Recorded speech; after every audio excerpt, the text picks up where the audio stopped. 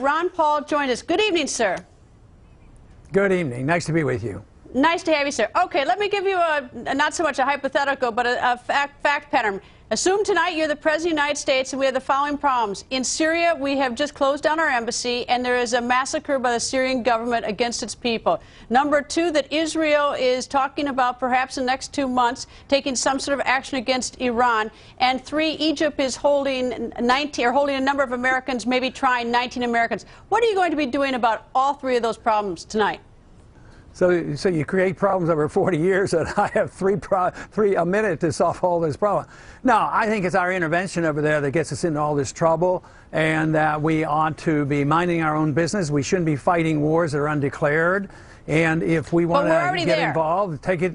Oh, well, let me but finish. Uh, if, all right. I know we shouldn't. We shouldn't be, and that's why you know, uh, uh, this is why the greatest, the best issue for me to get enthusiasm from young people and the people who care about what I'm doing, it's when I say, let's quit spending all our money overseas. We're going broke. In the last 10 years, we spent $4 trillion worth of debt fighting these wars. And all my argument is declare the wars. If you want to go to war, declare the wars, fight them, win them, come home like we did in World War II.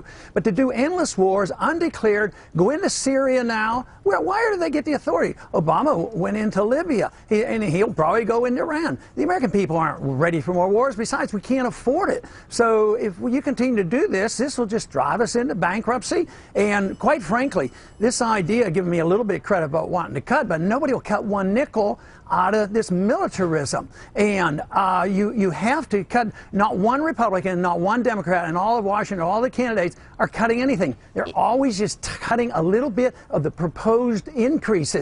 And you have to cut, and right now there's nobody willing to, and that's why we're going to go off a cliff. We're going to have an economic crisis a lot worse than four years ago, and it's going to involve too much entitlement spending and too much foreign adventurism trying to maintain an empire that we no longer can afford. I don't think there's anybody in this country who's going to deny that you've been talking about cuts and that you're the most probably fiscal conservative of the four. I don't think anybody. But the question I'm sort of curious about, and what I got is that you would say no to going into Syria. I don't know that anyone's even suggesting going into Syria. But these are really hot well, spots in the world. Like, like, well, what to the extent we are. Like so you said, we're already you, there. Do you say come home? Do you say don't have anything to do with the with the uh, with trying to get some sort of uh, even diplomatic solution to Syria? Do you do that? Do you say anything to Egypt tonight about send those Americans home? Do you get involved with that? Do you have conversations with Egypt? I'm sort of just trying to understand what you'd sure. be doing tonight with problems we already have. Sure, you follow diplomacy. Uh, Kennedy did that with Khrushchev at the height of the Cold War when they were in Cuba. So, no, yes, you definitely do talk to people. But I'm looking at the foolhardiness of what we've been doing for 30 or 40 years. How many billions, tens, probably 40 to 50 billion dollars we gave Egypt. Finally, the people got restless with the dictator we had propped up there. Now we have a government in Egypt that's anti-Israel. It doesn't help us, it bankrupts us, and it hurts Israel. And now the conditions are breaking down in that area. And now we're saying, well, we're going to put sanctions on Iran. Who's it going to hurt? Eastern Europe, our allies that we put into NATO, as well as Turkey.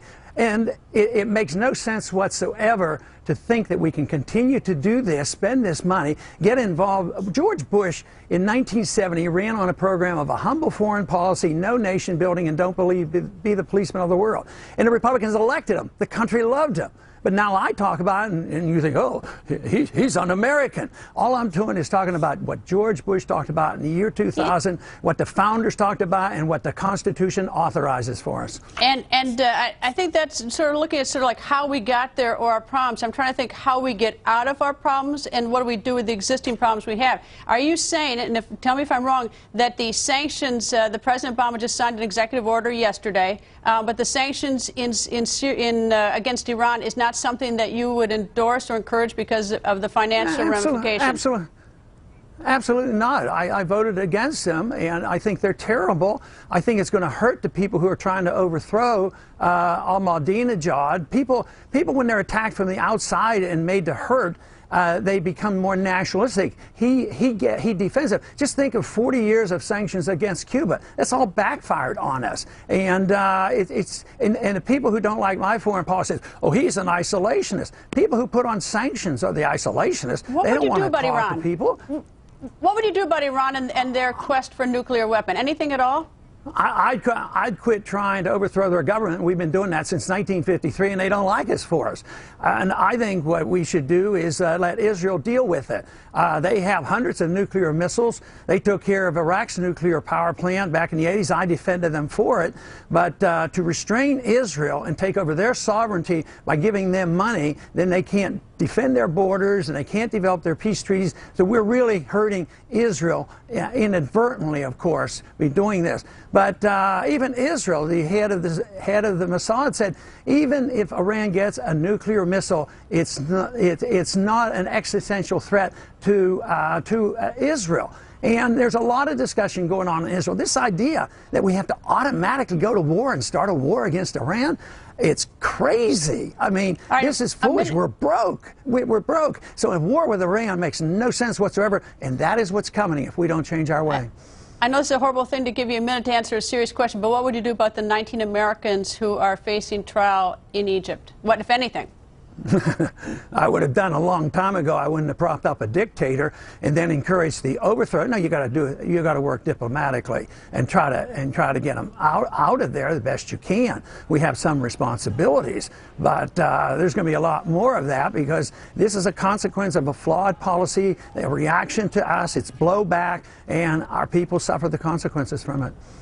Is it? I sort of think it's sort of like you know hard to sort of back out of situations too abruptly. But um, in terms of you know our foreign policy, do we ease out of it, or do we just one day all of a sudden wake up and back out of it? According to you, That's the way we went in. We just marched in for no good reason to all these countries. We ought to just march home uh, because we're, we're not. A, it's not a legitimate war, and we don't have the money. And the longer we're there, the more people die, the more Americans die, and the more bankruptcy we have. We're not serving any purpose, and therefore, the sooner we get out, the better. The world would be better off. Our Americans would be better off. The military would be better off. Why am I getting twice as much donations than the president gets? I get six times as much from the military as all the other Republicans put together. That ought to send a message to people. Why does the military support Ron Paul? Because I have a sensible foreign policy and they're on the front line. They're dying and they don't even know what they're dying for.